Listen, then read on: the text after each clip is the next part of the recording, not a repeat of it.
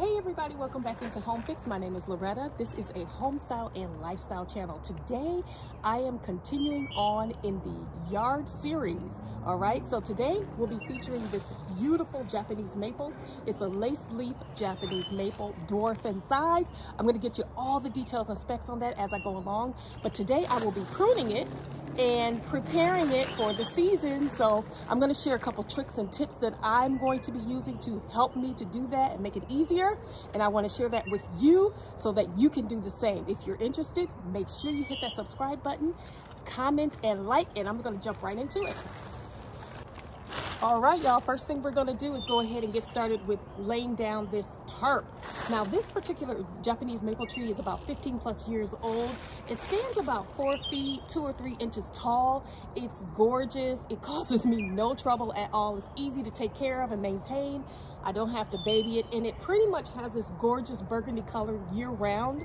Um, it's the color starts to fade um, toward the latter part of fall going into winter, but for the most part, it's gorgeous like this. It just needs to be maintained as far as the shaping. So that's what I'm gonna take care of today. And I'm gonna water it too. So I'm gonna go ahead and lay these down at the base all the way around. And the purpose of that is to catch the falling leaves. So as I start to prune and you know, this shakes, leaves will fall. and so I'll gather them up in this tarp like this and then take it over to the recycle uh, bin and just drop it on in there, let them fall on in there. And that way I don't have to scrape them up and just cause extra trouble and work for me. So I'm gonna go ahead and get started laying this right now.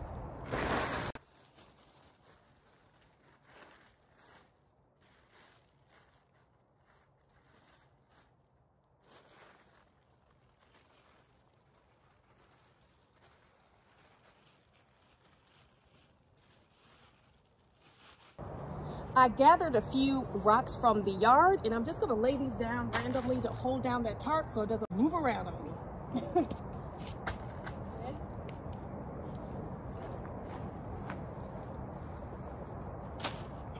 I do not have enough tarp down to my satisfaction, so I went and grabbed my painter's tarp. If you have that, use that. Use whatever you have, old sheet, whatever.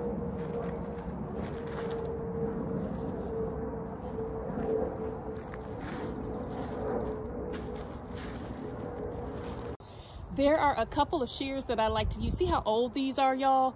I've been using these so long, but they work, so I'm using them. And I normally start with this tiny one here, and then I move on I go back and forth. So we'll see how it goes.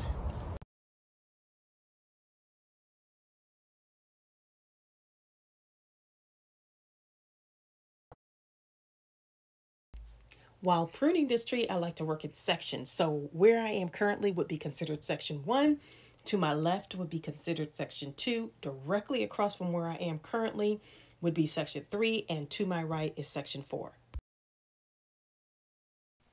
As I go along, I am avoiding cutting thicker branches um, or thinning it out too much. I don't want to thin it out too much so that the sun scalds the branches underneath. So I'm trying to be careful not to do that and create bald spots um, but it's very difficult with this particular tree because of how the branches kind of intersect and cross each other and all of that. You have to be very careful when you are cutting. When is the best time to prune a Japanese maple? Well, per the information on the internet, it is in the summertime and winter. Now, this is not summer nor winter.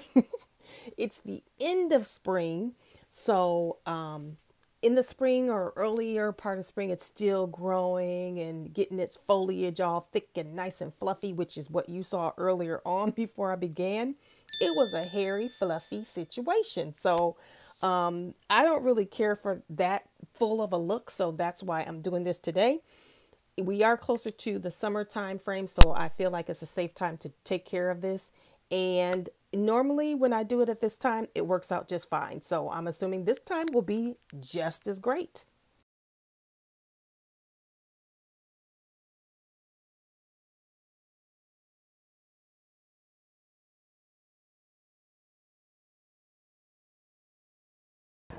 So I want to show something to you. Um, when I am pruning, I want to make sure to try, keyword try, not to cut, cut bald spots in it. See that?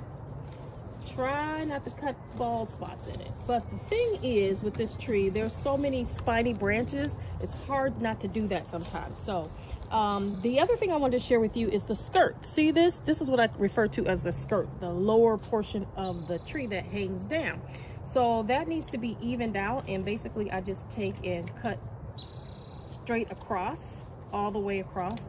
And these are hard to, harder to get because they're more leafy down here versus branches, if that makes sense.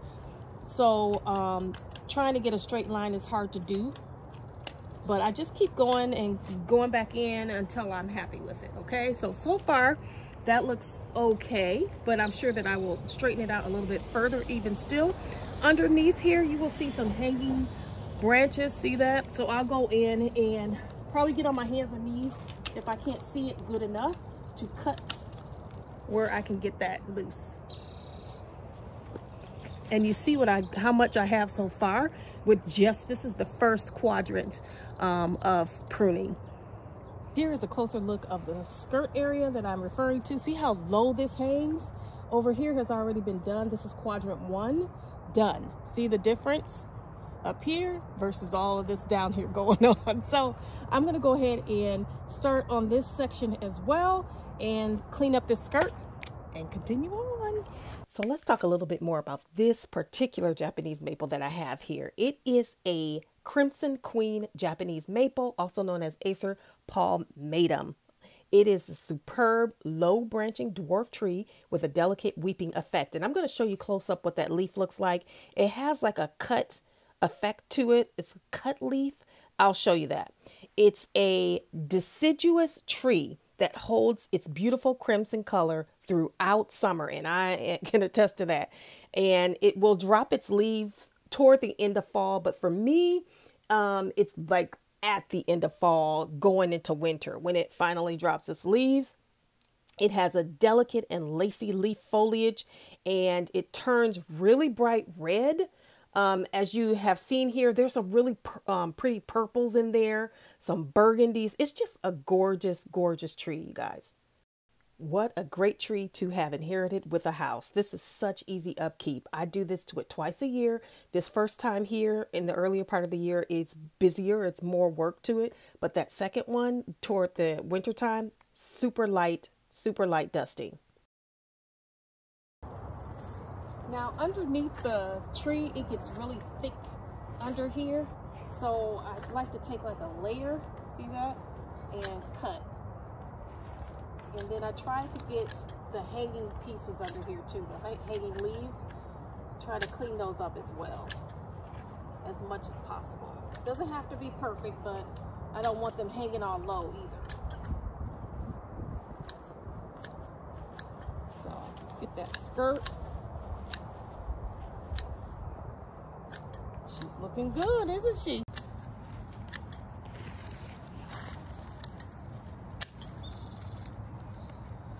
Hey, if you like what you see so far, make sure you hit that subscribe button, comment, and like.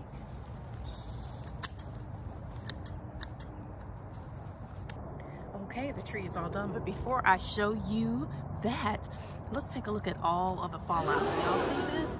Now imagine having to pick this up by hand in the mulch. Not fun. So even though there's some fallout outside of the tarp, you see that?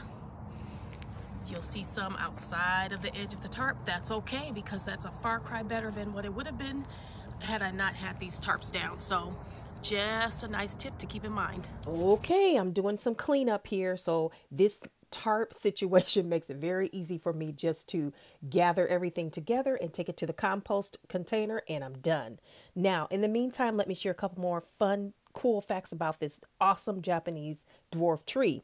This Crimson Queen tree is the single most popular red Japanese maple tree sold today.